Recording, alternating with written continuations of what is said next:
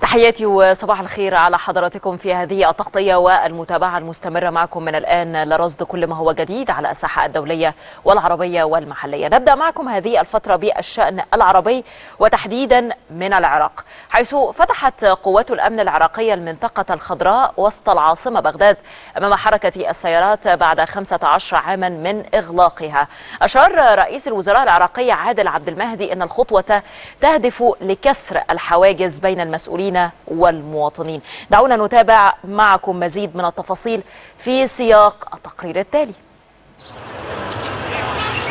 15 عاما ظلت المنطقة الخضراء مغلقة أمام العراقيين إلا أن بغداد تترقب الآن اعتزام الحكومة فتح أسوار تلك المنطقة أمام الجمهور خاصة بعد إزالة بعض الجدران بالفعل.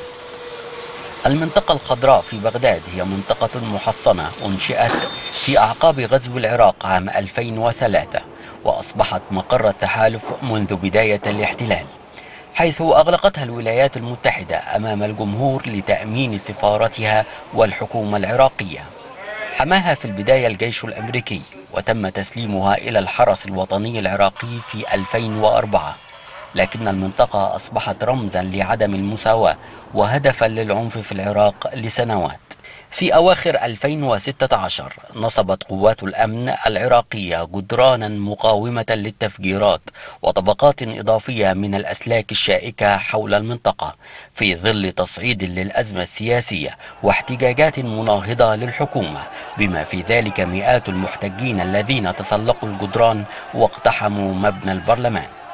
الأوضاع السياسية المتأزمة في العراق حالت دون تفكير الحكومة في فتح المنطقة الخضراء لكن بعد انتخاب رئيس ورئيس وزراء جديدين هذا العام بدأت محاولات فتحها أمام الجمهور.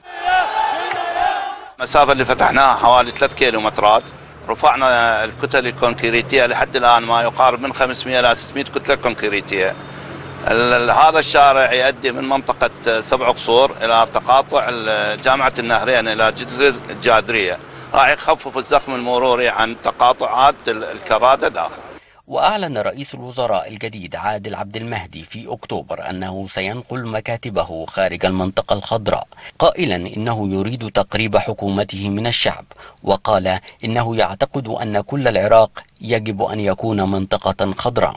لكن لا تزال هناك شكوكا حول محاولات فتحها أمام الجمهور. وإذا نجح عبد المهدي فسيكون أول مسؤول يقوم بذلك خلال 15 عاما حيث سبقه رئيس الوزراء حيدر العبادي والذي أمر أيضا بإعادة فتح المنطقة في 2015 لكنها أغلقت مرة أخرى بعد أيام قليلة فقط.